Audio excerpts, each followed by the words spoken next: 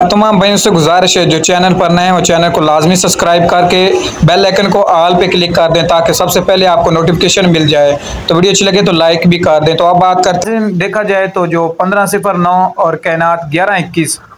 कैनात ग्यारह इक्कीस अभी मार्केट में बहुत ही कम माल आ रहा है और जबकि पंद्रह सिफर नौ मार्केट में बहुत ज़्यादा वाफर मकदार में माल आ चुका है।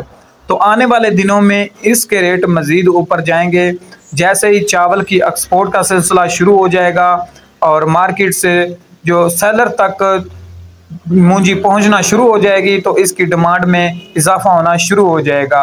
अभी मार्केट फ़िलहाल स्टेबल है, रुकी हुई है, एक जगह पर रेट रुक चुके हैं और स्टार्टिंग में रेट इसके देखे जाएँ तो पाँच हज़ार सात सौ रुपए तक भी पहुँचे थे पंद्रह सिफर नौ। तो एक दो मंथ लग जाएँगे इसके रेटों में, यकीनन बड़ा इजाफा नोट किया जाएगा।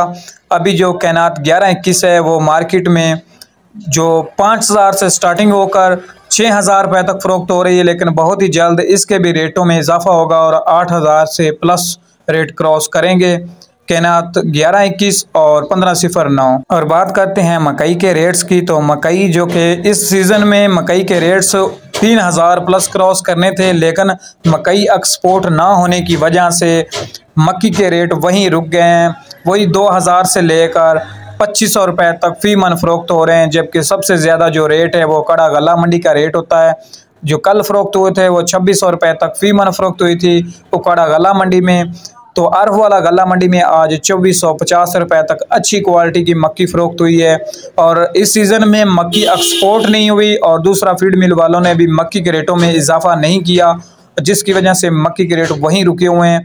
और इस दफ़ा बहुत से किसान भाइयों ने मक्की स्टॉक की हुई है, लेकिन अभी तक उनकी बहुत सी परेशानियों का सामना करना पड़ा, क्योंकि आगे सर्दियों का सीज़न शुरू हो रहा है और आगे नई मक्की का भी सीज़न आ चुका है और इससे भी मार्केट पर असर पड़ेगा थोड़ा बहुत। फिर से डाउन मक्की को रेट देखने को मिलेंगे। जी तो नाजनी ये थी अर्फ वाला गला मंडी में अजनात हैं आज के रेटों के बारे में। तो सबसे पहले बात करते हैं अरुणाबाद गला मंडी में। आज मकामी कपास आठ हज़ार रुपये तक फ़ी मन फरोख्त हुई।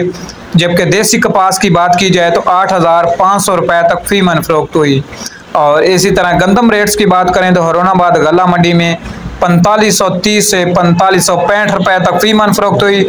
सरसों हाई ब्रेड क्वालिटी की बात करें तो छः हज़ार सात सौ से सात हज़ार एक सौ पच्चीस रुपये तक फ़ी मन फरोख्त हुई।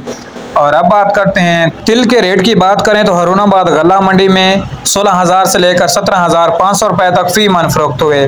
तो अब बात करते हैं उकड़ा गला मंडी में आज मक्की, जो अच्छी क्वालिटी की मक्की है, वो छब्बीस सौ बीस रुपये तक फ़ी मन फरोख्त हुई।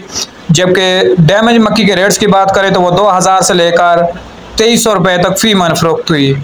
तो अब बात करते हैं आज अरब वाला गला मंडी में अजनास किन कीमतों पर फरोख्त हो रही हैं। तो सबसे पहले बात करते हैं अरब वाला गला मंडी में पंद्रह सिफर नौ और सोलह बानवे, जो कि कटर वाला माल, गीला माल है, वो उनतालीस सौ से लेकर तरतालीस सौ रुपये तक फ़ी मन फरोख्त हुआ। और हाथ वाले माल की बात करें तो वो चौतालीस सौ से लेकर पैंतालीस सौ रुपये तक फ़ी मन फरोख्त हुआ। और अब बात करते हैं सुपर फाइन 109 की तो चौंतीस सौ से लेकर सैंतीस सौ रुपये तक फ़ी मन फरोख्त हो रही है अर्फ वाला गला मंडी में।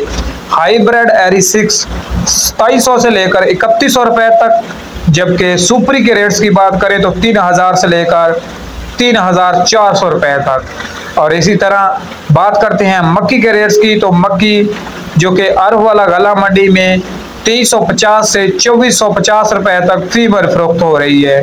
और मक्की वंडा क्वालिटी डैमेज मक्की के रेट्स की बात करें तो सोलह सौ से लेकर इक्कीस सौ रुपये तक फ़ी मन फरोख्त हो रही है। और गंदम रेट्स की बात करें तो गंदम चौतालीस सौ पचास से पैंतालीस सौ रुपये तक। कपास रेट की बात करें तो पचहत्तर सौ से लेकर आठ हज़ार चार सौ रुपये तक फ़ी मन फरोख्त हो रही है। और इसी तरह तिल तिली के रेट्स की बात करें तो सोलह हज़ार से लेकर सत्रह हज़ार दो सौ रुपये तक फ़ी मन फरोख्त हो रही है वाला गला मंडी में।